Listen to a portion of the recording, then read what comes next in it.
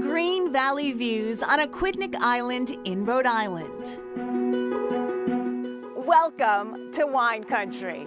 Not far from the banks of the Sakonnet River is Greenvale Vineyards, a sixth generation family farm set on 73 acres. We produce about uh, 70 tons of fruit every year. We grow Malbec, Merlot, Cab Franc, Chardonnay, Albarino, Pinot Gris, Cayuga, and Vidal.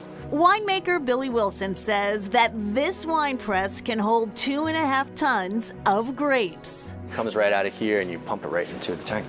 Billy's parents Nancy and Bill Wilson. My great great great uncle uh, purchased this land. He grew up in Mattapoisett and in Salem, so he understood he was looking for great farmland, and that's what he found here. Nancy's family has worked to preserve the farm, placing it on the National Register of Historic Places. These properties are disappearing. Only 19% of the island here is open space. And so the idea is to keep this generation after generation as a vineyard. This is a 2022 Cab Franc. But back to the wine. And I do this just because I see the connoisseurs do this, but do we really need to? This, I mean, it helps. It helps bring out the, the what we call the nose of the wine. The nose of the wine. Wilson says you don't have to be in Europe or California to produce a good wine. We are a similar, in terms of like the season itself, we're very similar to Burgundy. It's a cool climate but in a way that produces these nice, uh, refreshing, sort of high acid, crisp white wines, as well as these medium bodied uh, reds with a great finish and a lot of aroma. It's very refreshing. It goes down very smoothly. It's all about terroir, how the soil, sun, and climate affect grapes, say the Wilsons. The fact that it's, it's rocky soil, it's pitched and well drained is absolutely critical. The second thing is it's on the water.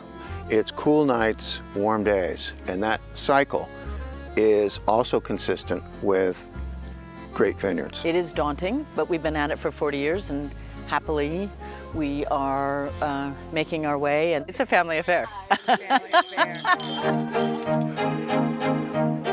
this is not your typical neighborhood wine shop. I wanted to create a very hospitality forward um, retail space that also is a beautiful space in itself to host private events, to host private tastings. So we have two whites and two reds. Sarah Marshall owns Lucille Wine Shop and Tasting Room in Lynn, Massachusetts. Marshall is a wine expert, a certified sommelier, and avid foodie. Wine was so interesting to me because it was another way of learning about culture. It's a way to learn about people, place, tradition, history, um, geography. This is from Mount Etna in, in Italy, so it's grown in volcanic soil, so it has a wonderful minerality. The collection here is diverse and unusual. So we're starting to see a lot of Slovenia, Croatia is super popular right now.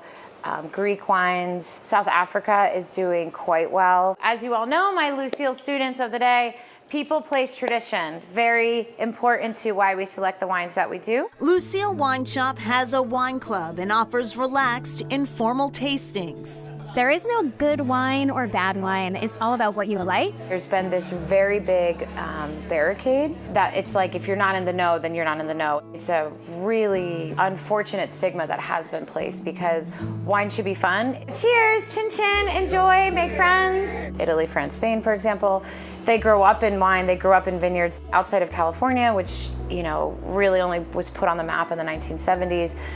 Wine culture was not part of our upbringing. I'm always learning something new. And then I think more than anything, there's really a sense of community here. Marshall is glad to hear it. We make wine approachable by first putting it in the glass. You get somebody to taste something delicious, you're 90% there. And of course, as weather patterns change, a lot of traditional wine regions are being impacted. France, Italy, Spain, and California, for example, have had a lot of problems with their vineyards mm -hmm. recently. But Sarah Marshall says cooler climates in Germany and Austria are seeing some of the best production, so this could work well hmm. for New England wineries in the long term. Maybe the next great vineyards. Mm -hmm. Still ahead, making wine an event.